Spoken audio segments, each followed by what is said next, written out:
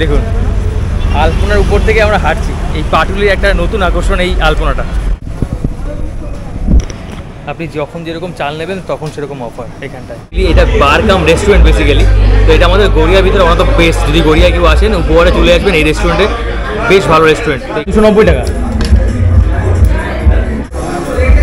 গেলাম। তো খাওয়া দাওয়া শেষ। তো এটা কি দুলাল ঘরের তাল তো?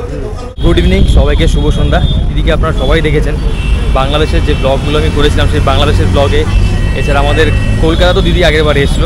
দিদিকে নিয়ে আগেও অনেকগুলো ভিডিও বানিয়েছিলাম। তো ভাবলাম দিদিকে একটু ঘুরিয়ে দেখাই, সে বাংলাদেশি মানুষ।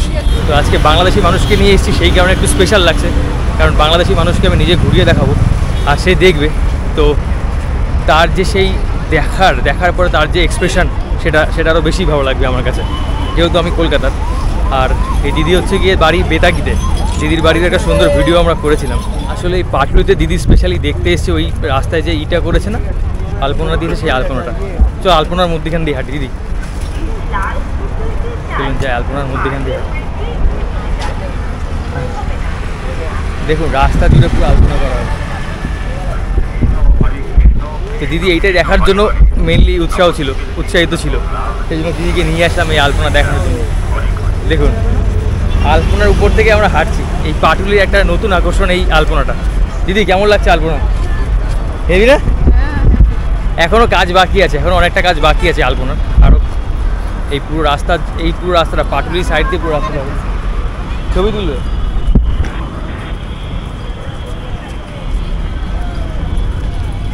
দিদি বলেছিল দক্ষিণেশ্বর যাবে। যা দিদিকে দক্ষিণেশ্বর নিয়ে যাওয়ার আগে দিদিকে এখান থেকে আমি দক্ষিণেশ্বর দেখাবো। আর সংহতি রথ দেখাবো। যে রথে করে স্বামী বিবেকানন্দ আমাদের শ্রী রামকৃষ্ণ পরমহংসদেরকে নিয়ে যাচ্ছে সেটা দেখাবো দিদিকে তো এখান থেকে আরও অনেকগুলো কাজ বাকি আছে। এখান থেকে যাব হচ্ছে গিয়ে রিলায়েন্সে রিলায়েন্সে গিয়ে দিদি আবার ওখান থেকে কেনাকাটি করব একটুখানি। তারপরে একটা কোনো রেস্টুরেন্টে যাব সেখানে গিয়ে খাওয়া দাওয়া করে তারপর আমরা বাড়িতে যাব। আমাদের আজকে এই সন্ধ্যার প্ল্যান ও হ্যাঁ অ্যাপেলো ফার্মেসিতে যাব। দিদি আবার ওষুধ কিনবে। সেই জন্য অ্যাপেলো ফার্মেসিতেও গিয়ে একটুখানি যেতে হবে আর কি ওষুধ কেনার জন্য। এখনও কাজ অনেকটা বাকি আছে এই- এই আলপনার কাজটা। এই সামনে হচ্ছে দিদি এটা হচ্ছে তোমার দক্ষিণেশ্বর। দক্ষিণেশ্বর সংহতি রথ সব একত্রে।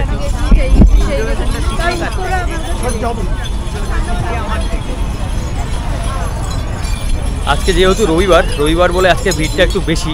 এখানে সবসময় ভিড় হয় বাট রবিবারটা একটু বেশি ভিড় হয়। এখানটা হচ্ছে গিয়ে সেই আমাদের দক্ষিণেশ্বর আর হচ্ছে গিয়ে সেই সংহতি রথ। তোমাকে আমি দক্ষিণেশ্বর না নিয়ে গিয়ে এখানে দক্ষিণেশ্বর দেখিয়ে দিলাম। না তাতে হবে না। আমার দক্ষিণেশ্বর তো দক্ষিণেশ্বর যেতেই হবে না? এই যে নচিকেতার দোকানটা দেখতে পাচ্ছ? এই নচিকেতার দোকানটা আমাদের এই পাটুলির খুব ফেমাস একটা দোকান। এই যে নচিকেতা চায়ের দোকান। চা খাবে এখান থেকে? এটা হচ্ছে কি পাটুলির খুব ফেমাস একটা দোকান নচিকেতা। পাটুলি মানে নচিকেতার চা মানুষজন খায়। এখানে চায়ের স্টার্টিং হচ্ছে কি কুড়ি টাকা করে। আর এর পাশে এখানে আরও অনেকগুলো দোকান আছে। খাওয়া দাওয়ার দোকান। হ্যাঁ? নচিকেতার হ্যাঁ নচিকেতার ওটার স্পন্সার নচিকেতার নাম। নামে অ্যাকচুয়ালি ওগুলো নচিকেতা তা বলতে পারব না মনে হয় হতে পারে। এই অবধি পাটুলি শেষ হয়েছে এখানে এই অবধি। এদিকে আরও কাজ চলছে এখনও কাজ বাকি আছে। কলকাতা ক্যানভাস এখানটায় কতগুলো দোকান টোকান আছে। আর এদিকে পাটুলি এখনও কাজ চলছে। এখনও ওদিকটায় আরও বাড়বে আর কি পুরো হাইল্যান্ড পার্ক অবধি যাবে মনে সম্ভবত। দেখো আমরা আবার যাই।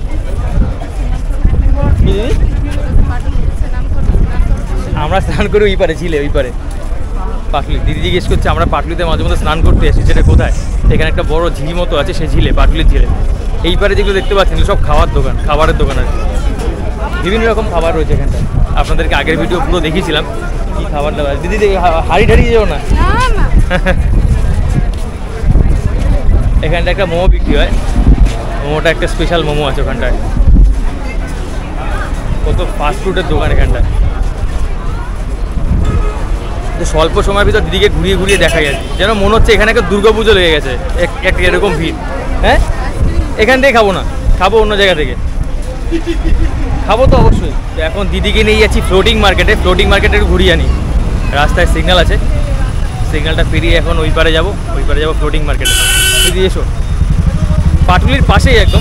আপনারা যদি কেউ আসেন ফ্লোটিং মার্কেটটা একদম পাটুলির পাশেই।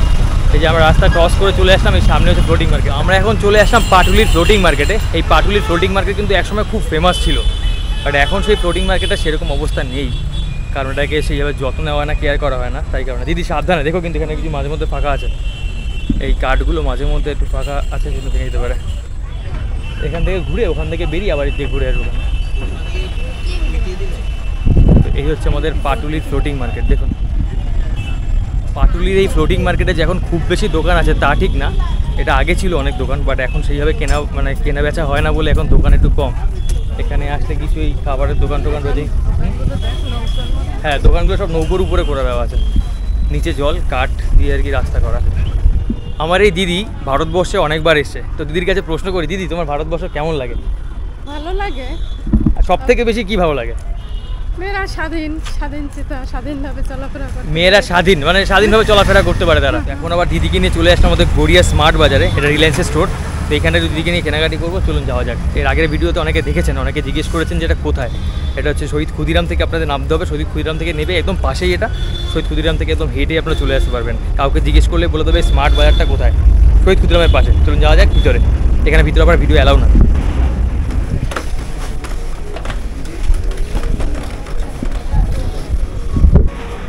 আসলে আমাদের এখানে স্মার্ট বাজারগুলোর ভিতরে ভিডিও করা অ্যালাউ না সেই জন্য এখানে ভিডিও করতে দেয় না। তবু আপনাদেরকে দেখালাম, এটা হচ্ছে স্মার্ট বাজারের ভিতরটা। আর এই সমস্ত স্মার্ট বাজারে কিন্তু প্রচুর অফার থাকে। আপনারা যারা আসবেন, এই সব জায়গা দিয়ে কেনাকাটি করতে পারেন, লাভবান হবেন।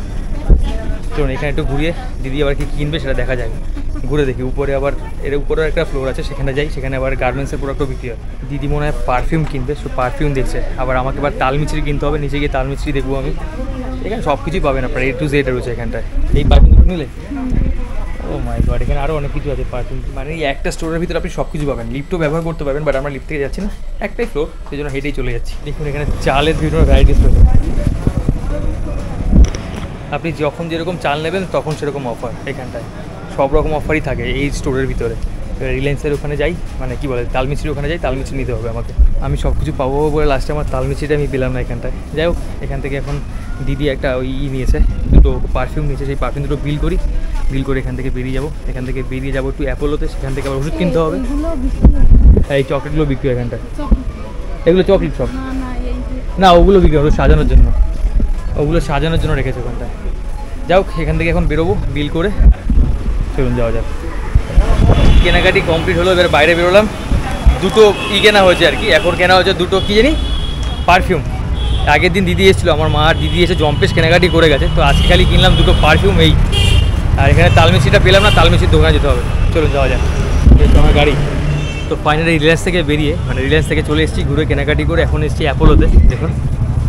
তো এই অ্যাপোলো থেকে এখন আবার ওষুধ কিনবে দিদি। তো আমি বেসিক্যালি ওষুধ কেনার জন্য অ্যাপোলোটাকেই সাজেস্ট করি। তার কারণ হচ্ছে অ্যাপোলোতে একদম কারেন্ট ওষুধগুলো পাওয়া যায়। এখান থেকে কেনাকাটি করে তারপর আমরা যাব হচ্ছে গিয়ে কোথাও কিছু খেতে, কোনো রেস্টুরেন্টে আর ওই তালমিছিটা কেনা বাকি আছে এখনও। যাই হোক চলুন, যাওয়া যাক অ্যাপোলো দিদিকে আমি ওষুধের দোকানে দাঁড় করিয়ে দেখি, এখানে তালমিছি খুঁজে পাই কিনা। তালমিছিটা কিনতে হবে।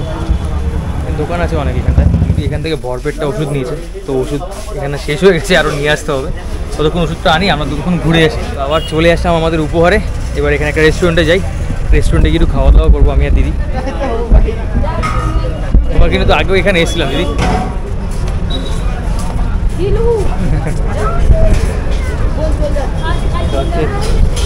নীলস কিচেনের রেস্টুরেন্টের সামনেই আছে, চলুন যাওয়া যাক। চলুন যাওয়া যাক ভিতরে। তো এখানে এখন প্রচণ্ড ক্রাউড অ্যাকচুয়ালি এটা বার কাম রেস্টুরেন্ট বেসিক্যালি তো এটা আমাদের গড়িয়ার ভিতরে অনেক বেস্ট যদি গড়িয়া কেউ আসেন উপহারে চলে আসবেন এই রেস্টুরেন্টে বেশ ভালো রেস্টুরেন্ট তো এখানে আসলে একদম উপহারে এই রেস্টুরেন্ট নীলস কিচেনের রেস্টুরেন্ট এখানে। এখানে আপনারা ড্রিঙ্কসও করতে পারবেন। এছাড়া এখানে চাইলে কিন্তু এখানটায় আপনারা ওই যে ফাস্টফুডগুলো আছে, যারা খাবার যেগুলো রয়েছে চাইনিজ এগুলো খেতে পারবেন। ভালো, এটা ফ্যামিলি বেসিস এখানে কোনো রকম ক্যাচাল নেই। এটা বার কাম রেস্টুরেন্ট কিন্তু এখানে সেরকম না ফ্যামিলি নিয়ে আপনারা আসতে পারবেন। বেশ ভালো। দেখুন রেস্টুরেন্টের ভিতরে। এখনই আমাদের খাবার দাবার আসবে। আবার ওই মেডিসিন দোকান থেকে ফোন করেছে আমাকে। মানে হচ্ছে অ্যাপোলো থেকে।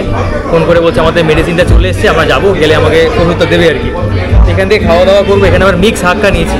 আমাদের অর্ডারটা চলে এসেছে হচ্ছে আমাদের অর্ডার লাইটে নিয়ে আসে এটা হচ্ছে প্রন চাউমিন দিয়ে দাও সার্ভ করে দাও একটুখানি। এটার দাম কত হলো? দুশো নব্বই টাকা।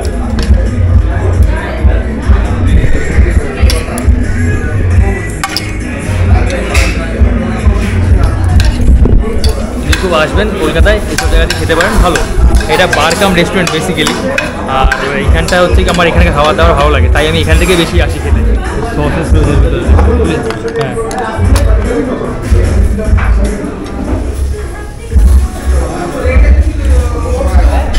ভালো আছিস তো?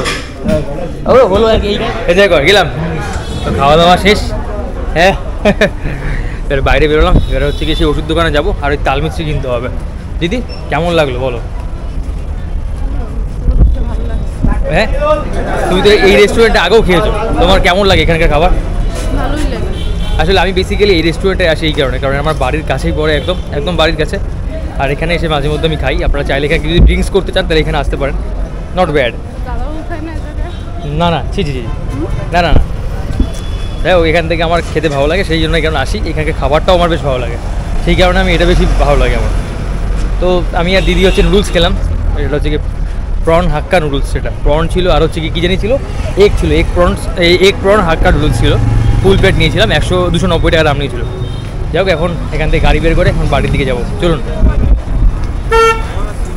তো এখান থেকে হচ্ছে কি তাল মিস্ত্রিটা দেখি পাইকারি এটা আমাদের স্টেট ব্যাঙ্ক অফ ইন্ডিয়া আমাদের ব্যাঙ্ক এখান থেকে এখন সেই এটা কিনতে হবে তাল মিস্ত্রিটা এটা কি দুলাল ঘরের তাল মিস্ত্রি তো? দুলাল ঘরের তাল মিস্ত্রি এটার দাম হচ্ছে কি পঁচাত্তর টাকা। যাবে একটা তো কেনাকাটি শেষ আবার অ্যাপোলো তো চলে এসেছি। যাই, ভিতরে গিয়ে ওষুধটা কিনে আনি। চলুন, ওষুধ কিনে তারপর দেখা হচ্ছে। তো ওষুধ কেনাকাটি শেষ। দিদি প্রায় অলমোস্ট দু হাজার টাকার ওষুধ কিনেছে। আর আমি এক হাজার টাকার কী জানি কিনলাম আমি জুবি বুঝলাম না। তো এখান থেকে মোটামুটি দু হাজার টাকা গল্প হয়ে গেল। দিদির আজ ওষুধ। যাই হোক এই ভিডিওটা লং করব না। তো আপনাদেরকে একটা সুন্দর সন্ধ্যা ঘুরিয়ে দেখালাম আমি, আমার দিদি এই গড়িয়ার ভিতরে। তো বাংলাদেশি মানুষকে নিয়ে ঘুরতে বেশ ভালোই লাগল। তো ভিডিওটা আপনাদের কেমন লাগল অবশ্যই কমেন্ট করে জানাবেন। আর ভিডিও যদি ভালো লাগে থাকে, অবশ্যই লাইক করে দেবেন। আর যারা চ্যানেলে প্রথম, তারা অবশ্যই সাবস্ক্রাইব করতে ভুলবেন না। ধন্যবাদ সবাইকে, দেখা হবে নেক্সট ব্লগে টাটা।